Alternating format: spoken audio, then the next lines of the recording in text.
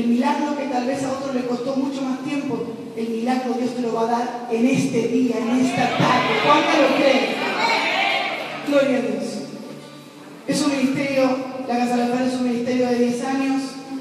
Estamos bajo la cobertura de nuestro apóstol. Hace dos años eh, tenemos la cobertura de nuestro apóstol Guillermo Maldonado, el profeta Ana Maldonado grande siervo de Dios que honramos nuestros padres y nuestra madre, tremendo.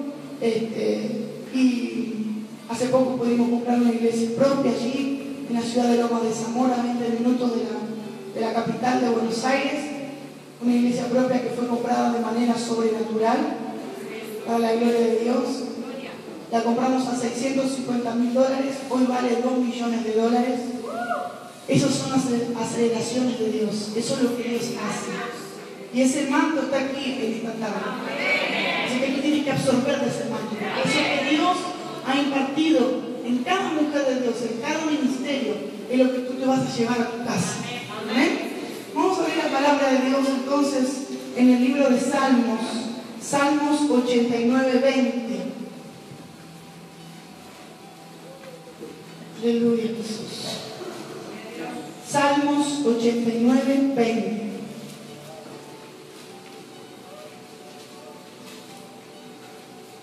Y Dios es un Dios de propósito, para aquella que no sabe. Hace 25 años que no venía a Paraguay. Eh, después de 25 años el Señor me trajo hoy aquí a, poder predicar su palabra. Mi primer prédica fue aquí en Asunción, Paraguay, a los 11 años. Eh, mis padres pastores padre, mi madre, pastores, este, han predicado en esta tierra durante un año y yo estudié aquí durante un año y también Dios me dio el privilegio de que sea mi primer prédica en una, en una vigilia. Eh, así que, bueno, yo estoy aquí, amén, después de 25 años. Y Dios es un Dios de propósitos. aquella que no, lo quiero contar porque algunas no me conocen y es bueno que sepan por qué estoy aquí. No estoy aquí por casualidad, como tú tampoco estás aquí por casualidad. Dios te trajo con un propósito. Siempre que sabemos oír la, voz de Dios, Dios tiene un propósito. Y realmente poder estar hoy aquí en Asunción, hermoso Paraguay, amén. Denle un fuerte aplauso a Paraguay. Hermoso Asunción Paraguay, una bendición. Hermoso. Si había una parte de mi corazón en Paraguay, ahora después de 25 años me voy, pero enamorada de Paraguay. Así que ame su país, bendiga su país. Sé que muchos que están aquí son de Paraguay. Este, bendigan su país, amen su país, declaren palabras de bendición, porque tienen un país maravilloso. Amén. Entonces, Salmos 89, 20, 20 ¿quién encontró? Diga amén. Este Salmo es un salmo poderoso de parte de Dios, una palabra que Dios me dio. Porque ¿cuántas quieren reinar con Cristo? Como se llama el lema de este evento. Y para reinar tenemos que estar ungidas ungidas por el Rey. Por eso en esta noche, en esta tarde noche te vas a ir ungida por el Rey. Ese Rey que ungió a Débora, ese Rey que ungió a Esther, ese Rey que ungió a David, está aquí en esta tarde y te va a ungir a ti, mujer, de la punta de la cabeza hasta la punta de tus pies. Por eso vamos a leer la palabra de Dios entonces en el nombre del Padre, del Hijo y del Espíritu Santo. Dice así. Allí a David, yo quiero que a veces leemos la palabra y, vemos ese nombre y está bueno que puedas poner tu nombre en lugar de David, ¿sí? Para que puedas entender lo que Dios te está hablando en esta tarde, lo que Dios quiere impartirte en esta tarde, ¿sí? Cuando yo diga allí a David, usted ponga, yo voy a poner, voy a decir allí a Sabrina, y usted va a decir su nombre, ¿sí? Allí a Sabrina, mi sierva, la ungí mi santa unción, mi manto estará siempre con ella mi brazo también la fortalecerá. No la sorprenderá el enemigo. Uy, qué bueno está esto. Mi hijo de iniquidad la quebrantará, sino que quebrantaré delante de ella a sus enemigos y heriré a los que la aborrecen. Mi verdad y mi misericordia estarán con ella y en mi nombre será exaltado su poder. Asimismo pondré su mano sobre el mar y sobre los ríos su diestra. Ella me clamará, mi Padre eres tú, mi Dios y la roca de mi salvación. Yo también le pondré por primogénito, el más excelso de los reyes de la tierra.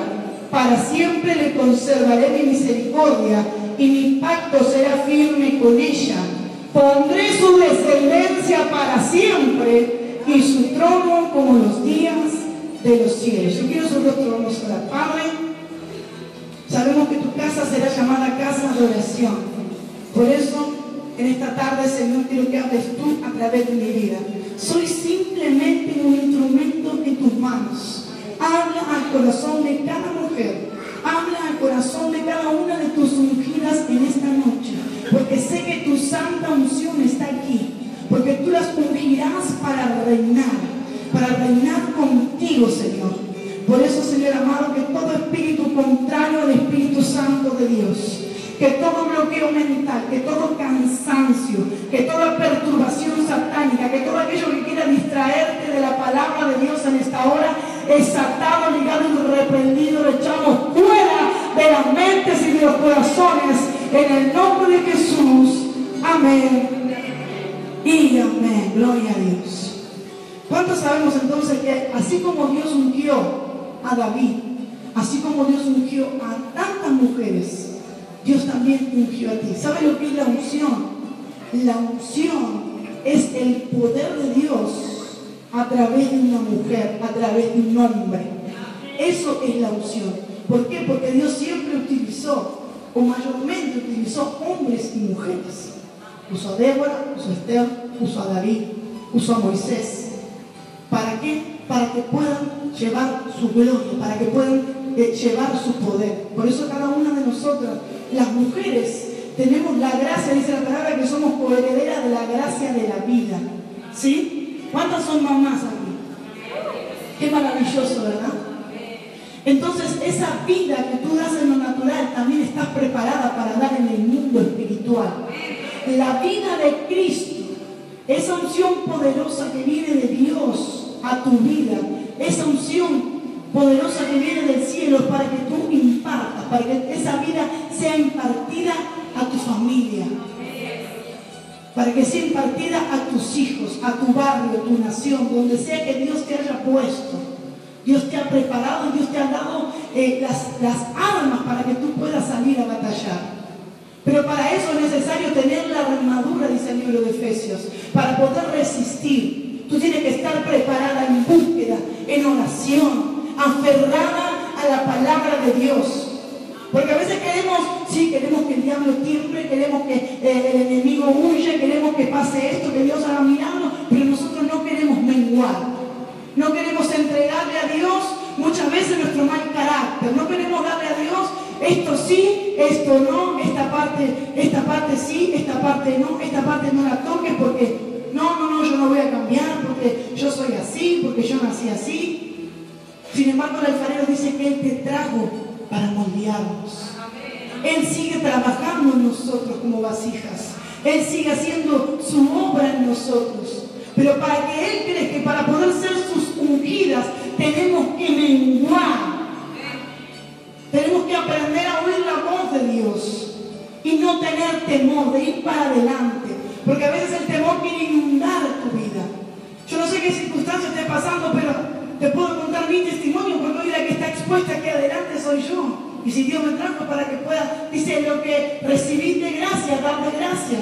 Y una de las cosas que tengo para contarte es que recuerdo que hace muchos años atrás, antes de comenzar el pastorado, hace más de 10 años, yo sufría de ataques de pánico, ataques de fobia. Y sentía que me ahorcaban por las noches. ¿Sabes qué feo cuando llega la noche y vos tenés miedo de que empiece a caer el sol? Me ahorcaban de noche. Sentía que la luz en mi casa se, se, se, como que había cortocircuito. Un día recuerdo que con mi esposo dijimos, vamos a hacer una, una reunión en casa, una vigilia, algo, qué podemos hacer porque ya no sabemos qué hacer. Y vinieron los hermanos a cantar ahí una guitarra y unos coritos a cantar en la casa. Y usted sabe que la, casa empezó a manifestarse. Empezó, como las películas de terror, a, moverse las luces, a apagarse, a prenderse. Y hubo una explosión. Se cortó la luz en toda la casa. Salía humo del ventilador de techo, me acuerdo. Los hermanos que agarraron la guitarra, ya que se ha sentado yendo a la fecha, se querían ir para afuera dijeron, ¿qué pasa acá? Y era ese espíritu inmundo que me, que me oprimía, que siempre me estaba persiguiendo. Recuerdo que a veces me querían hablar de Dios y era tanto lo que me perturbaba el enemigo, que tenía miedo de que me hablen de Dios. No quería, miren lo que hace el diablo, miren lo que, cómo bloquea la mente, cómo bloquea el corazón de las personas que habían infundido tanto temor en mi vida que yo no quería ni que me hablen de Dios. Cuando me querían hablar de Dios, yo decía a mi familia, o a quien sea que venía a querer predicarme, yo decía, no, no, no, no, no, para, no me hables, no me digas nada, porque había como que algo que me decía, si te hablan de Dios, esta noche la vas a ver. Esta noche vas a ver lo que te va a pasar. Y entonces yo tenía tanto temor, hacía lo imposible para que nadie me hablara de Dios. Y sentía voces y veía sombras. Y yo digo, si le cuento a alguien lo que me está pasando, me va a internar el bloqueo. Digo, no, no voy a decir nada, yo voy a ver cómo puedo hacer para solucionarlo. Y tenía pesadillas horribles y cada vez parece que eso iba acrecentando cada vez más en mí. Y ahí fue cuando dije, voy a empezar a buscar de Dios. No puede ser, no puedo estar más así. ¿Cómo es posible que esté de esta manera? Pero lo que voy es que a veces son procesos de Dios. Porque Dios permite muchas veces cosas que uno dice son ataques del diablo son esto, pero a veces Dios permite también para llevarte a otro nivel, porque Dios te prepara para llevarte a otro nivel. Y es el día de hoy que cuando el diablo me perturbaba, Hoy para la gloria de Dios es un ministerio de liberación donde le decimos, diablo, tienes que retroceder ahora de mi casa, tienes que retroceder ahora de mi familia, porque aquí hay un hombre, hay una mujer de Dios. Pero ¿sabe por qué? No porque yo soy Sabrina, fulana de tal, sino porque dice que Él se perfecciona en nuestras debilidades. ¿Para qué? Para que la gloria no se la lleve ningún hombre, ninguna mujer. Dice que Él le da de su sabiduría y Él levanta del polvo al pobre. ¿Para qué? Para avergonzar a sabios y entendidos. En aquello que tú te sientes débil, en aquello en lo que tú, en la prueba que tú puedas llegar a estar, yo te puedo asegurar en esta noche, en esta tarde, es para que la gloria de Dios pueda ser manifestada en tu vida y seas un testimonio del poder vivo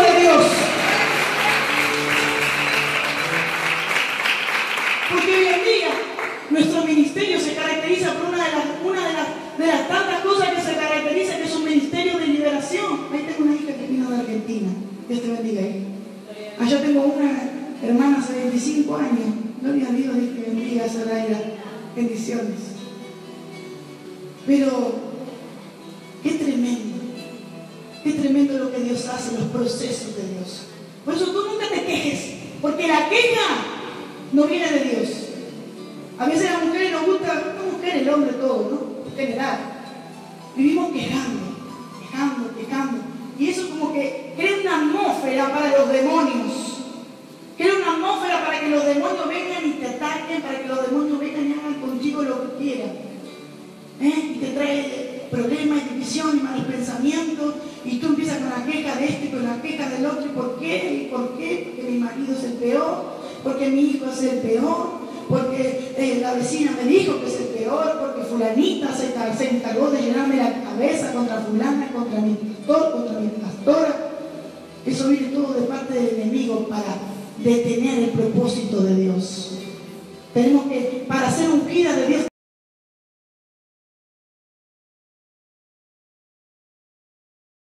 manifestada. Así como lo pasé yo, que tenía pánico, tenía temor, tenía ataques de fobia porque los demonios me perturbaban. Yo lloro para que las personas sean libres. O sea, para poder vivir, para poder eh, predicar algo, tú tienes que vivirlo primero. ¿Cómo vas a predicar lo que tú no vives? Yo no puedo hablar de, de compasión si no tengo amor por las almas. No te olvides de una de las cosas más grandes, dice, que es, está bueno que, dice la Biblia, está bueno que los demonios se sujeten, que los enfermos sean sanos, pero el mayor, el mayor de los dones es el amor. Porque si no tenemos amor, no somos nada. Y tenemos que tener el amor de Cristo. Tenemos que tener compasión por las almas. Compasión es acompañamiento. Es compadecer a esa persona en la situación en la que se encuentra. Poder sentir un poco el dolor que esa persona está pasando. Porque a veces viene alguien a contarte un problema y dice, ah, sí, ¿qué te pasó? A ver. Y falleció. Ah, mira vos, qué bien. No, tener compasión ponerte un poquitito en el lugar de esa persona y poder darle una palabra de aliento, poder levantarle los brazos a esa persona. Porque muchos lo que hacen es, cuando ven a alguien mal, lo primero que hacen es criticarlo y si le pueden pisar la cabeza, se la pisan. Pero si somos ungidas de Dios, al único que le vamos a pisar la cabeza es al diablo. Al único que le pisamos la cabeza es al mismo Satanás, al mismo infierno. Como hija de Dios estamos para sumar, estamos para, para unir, estamos para levantar al que está caído. Si vos ves a alguien, por más que se sepa la Biblia de memoria, pero si vos ves a alguien que no tiene amor, que lo único que hace es pisarle la cabeza que está mal, esa persona le falta mucho todavía. Esto no se trata de saberse la Biblia de memoria, y gloria a Dios, pues si la sabemos de memoria es una bendición. Pero va más allá de todo eso. A veces la gente mira la apariencia, la apariencia, la apariencia. ¿Qué le dijo el Señor a Samuel cuando fue a ungir a David? Yo no miro como miran los hombres. Yo no miro como miran las mujeres. Yo miro el corazón. Y para ser una ungida de Dios, tenemos que tener corazón.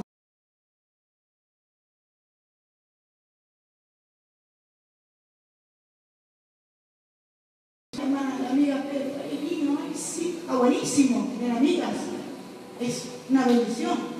Pero cuando llega el marido, ¡Ah! ya llegaste, tomamos algo, ven, prepárate vos, eh. arreglar. Y ya el marido dice, pero, y, pero me hiciste este café y está frío. Ah, así que está frío, tomátelo. Revolea con la casa por la cabeza. Se le fue la unción. Qué importante es tener amor por los que nos rodean, porque a veces somos muy crueles con los que nos rodean, con aquellos que nos quieren, con los que más cerca están de nosotros, somos con los que más a veces atacamos. Y yo no soy perfecta, ¿eh? ¿Hay algún perfecto en la sala? Se levanta la mano y se la cortamos como mentirosa.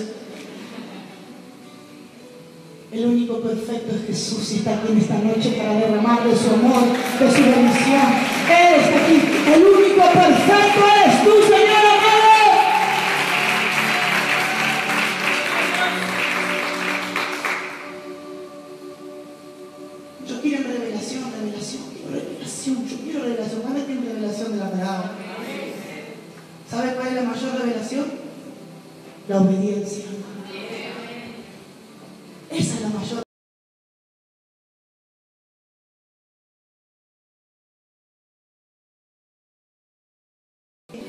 para que puedas impartir lo que Dios tiene en tu vida, para tu casa, para tus hijos. Que ya dejes de declarar, ah, este vago, este borracho, este que no sirve para nada. Ah, mi marido podría haber tenido días mejores, ¿verdad? Algunas cuando están ahí locas, enojadas. Empieces a declarar y decir, no importa si estás borracho, o estás en la droga, o estás en el mundo. Yo sé que tú serás un hombre, un hombre ungido, un siervo y una sierva de Dios, porque yo lo creo y lo declaro sobre mis hijos, sobre mi esposo, sobre mi casa. Declaro la unción poderosa de Dios.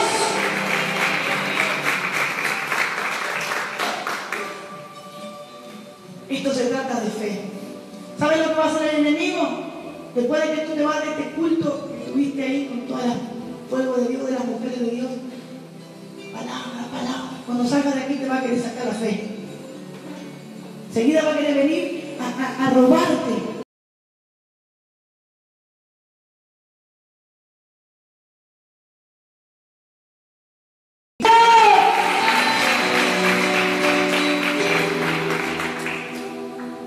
¿Sabe lo que quiere decir Cristo en el hebreo?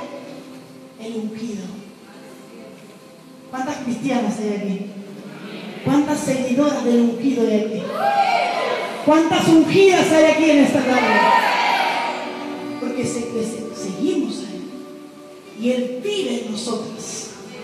Pero mucho tiempo, por mucho tiempo. Hasta el día de hoy Él queda como una colilla del diablo por que se quiere mover. Que quiere que la mujer se quede frenada, estancada, que no haga nada. Que la iglesia esté siempre sentada sin hacer nada. ¿Por qué? Porque se agarraron de esa palabra que dice la mujer calle en la congregación. Pero sin embargo su palabra dice en los últimos tiempos yo derramaré de mi Santo Espíritu sobre mis siervos y sobre mis siervas. ¿Cuántas siervas ungidas de Dios hay aquí en esta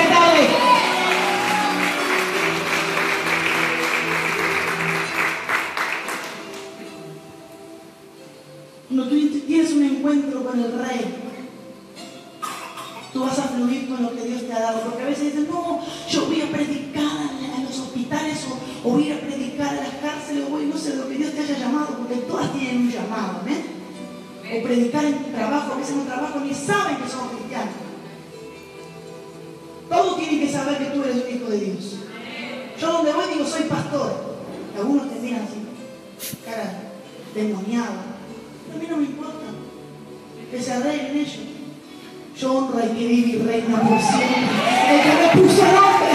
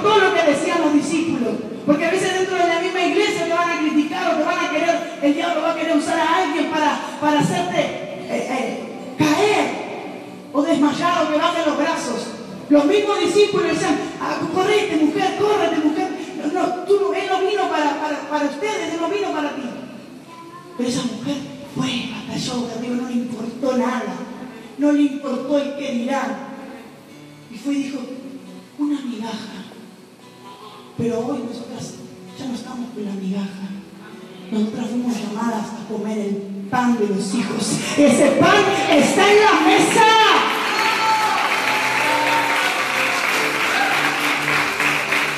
Y esa es la liberación que tú tienes que llevar a tu casa. Esa es la liberación que tú tienes que llevar a tu barrio. Tienes que tener intimidad con el Señor. Tienes que tener búsqueda con Dios. Tienes que tener pastora, pero yo voy a la iglesia, está perfecto, tienes que congregar todos los cultos, cuanto más mejor. Porque uno dice, no, porque tengo la hora, la hora de, eh, trabajo. Y que tengo, está bien, trabajo buenísimo, pero el tiempo para Dios. El que te da la vida todos los días, que guarda a tus hijos, que te hace respirar. Ya somos deudoras por simplemente respirar. Y a veces tenemos un como quien dice, un rollo de quejas o de, o de, o de pedidos para Dios. Pero después no queremos entregarle una hora al Señor. Qué importante es estar en su presencia una hora, tener búsqueda, intimidad, porque si tú no tienes una intimidad con el que sana, con el que liberta, ¿cómo vas a, cómo vas a pretender que Él te diga cómo tú tienes que caminar? ¿Cómo vas a pretender que Él te diga cómo son las estrategias que tienes preparadas para ti? Si no tenemos, si no tenemos conocimiento de ese Dios poderoso, tener acceso. A veces decimos, ay, qué bueno, me voy a presentar ante el presidente eh, de los presidentes, eh, este, el otro, y tú tienes la oportunidad de hablar con el que creó los cielos y la tierra y el universo. Él te dio el privilegio que con simplemente arrodillarte puedas estar ante el que creó todo el universo, los cielos, las estrellas, el sol. ¡Qué privilegio!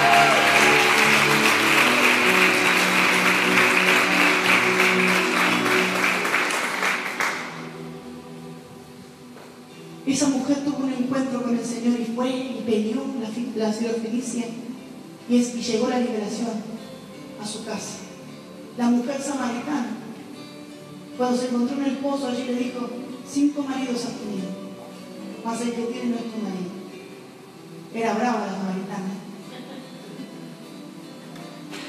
Pero ella tuvo un encuentro con Dios.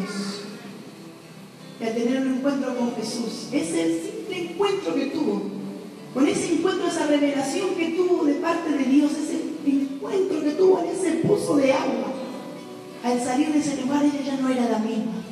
Dice que se fue a la ciudad y empezó a decir, Él es el Cristo, Él es el que sana,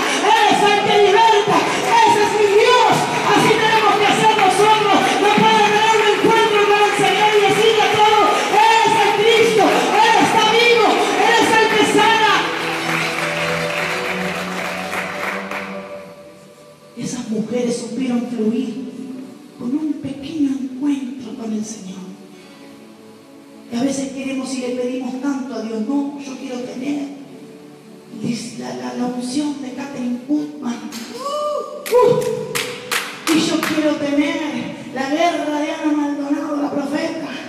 Y yo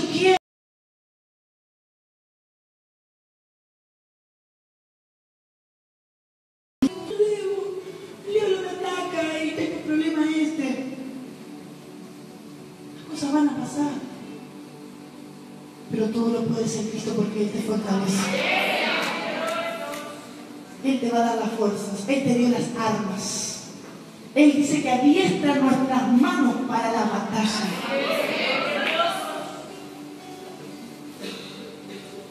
Y su unción está aquí en esta tarde para que pueda ponerla tú por obra en tu casa. Para que ya no digas más, no, yo no puedo. No, yo necesito ser como, no, tú eres única y especial. Lo que Dios te ha dado a ti no, se lo, no me lo dio a mí. Lo que Dios me dio a mí no te lo dio a ti. Cada Dios es un Dios creativo. Dios es un Dios único. Que sabe cómo darnos a cada uno según sea y conforme a lo que Él disponga y quiera. Por eso con lo que Dios te ha dado, deja de decir yo quiero esto de esto. Gloria a Dios, son grandes mujeres de Dios la bendecimos, son grandes ungidas, pero Dios te dio algo ti especial. Y tú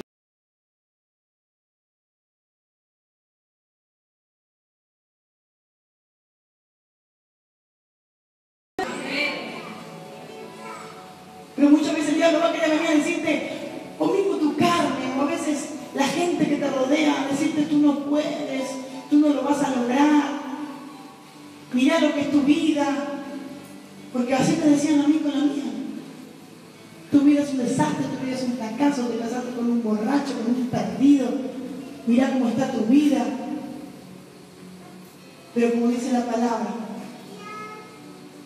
el que no cree jamás será avergonzado. Porque ese borracho es el perdido es el pastor Milán Alemán que predica a las naciones la palabra del Señor. Y eso es lo que Dios hará con tu familia. Eso es lo que Dios hará con tus hijos. Pero ¿sabes qué? Hace falta que una mujer se levante.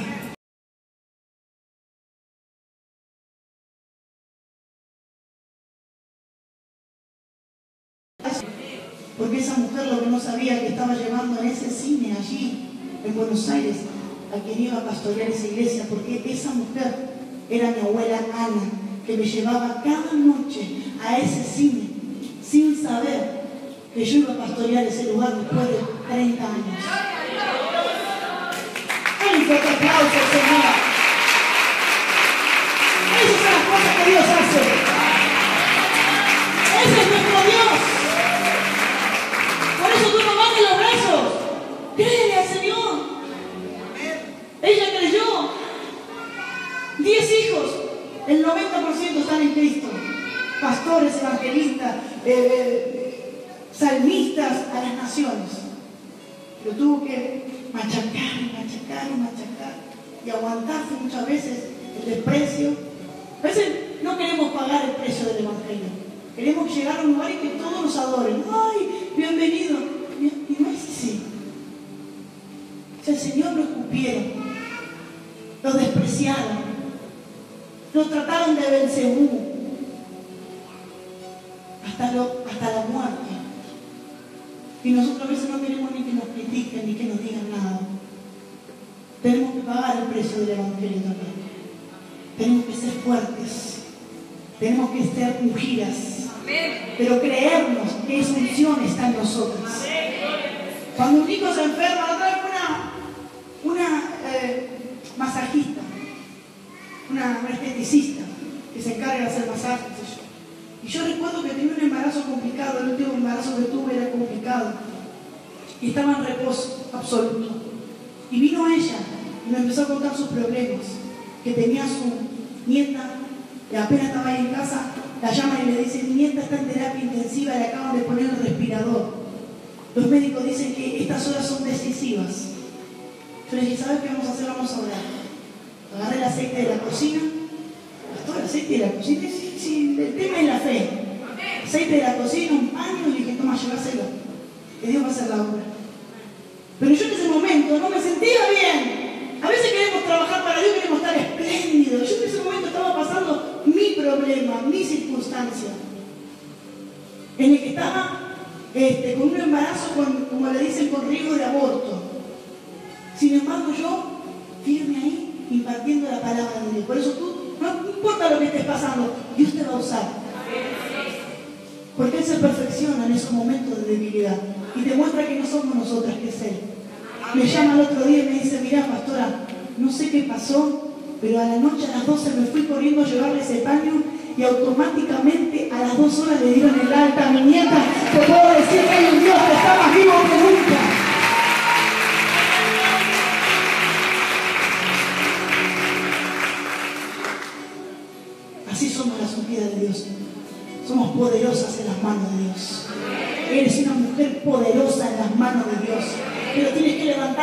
Fuego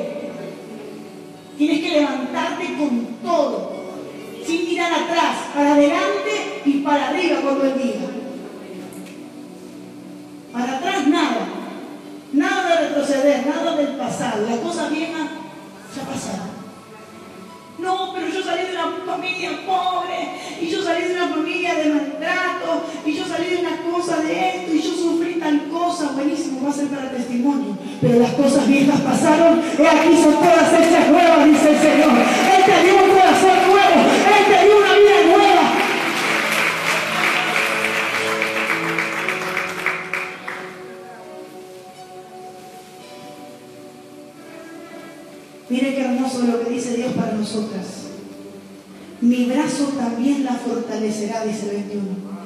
Mi mano estará siempre con ella. No la sorprenderá el enemigo.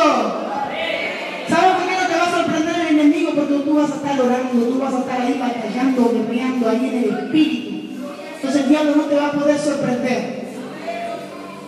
Dios te va a mostrar y enseguida vas a empezar a interceder, a guerrear, a batallar Vas a venir, vas a buscar de Dios, vas a ir a tu iglesia y vas a empezar a clavar rodillas ahí para que Dios haga la obra. Entonces el diablo ya no te va a poder sorprender. Ni hijo de iniquidad la quebrantará, sino que quebrantaré delante de ella a sus enemigos. Gloria a Dios. Todos aquellos que se quieran levantar contra ti, si no se arrepienten, Dios los va a quebrantar Dios se va a encargar de que sean avergonzados. No porque tú eres, eres tú o soy yo, sino porque somos unas ungidas de Él. Y fuimos llamadas a reinar con Él. Pero para reinar hay que batallar. Ninguna conquista se logró sin batalla. Amén. Muchos quieren conquistar y conquistar y yo quiero reinar, gloria a Dios. Pero todo lo que se conquistó fue a través de la batalla. Por eso en esta noche quiero que te pongas de pie. Aleluya, Señor Jesús. Sí, Señor. Sabemos que tú estás aquí, Señor, con tu unción poderosa para llenarnos en esta noche. Oh, sí, Señor Jesús. Toma tus pertenencias y ven aquí adelante al altar. Esa unción que tocó a David. Esa unción que visitó a la samaritana. Esa unción que tocó a la Fenicia. Esa unción está aquí en esta tarde. Aleluya.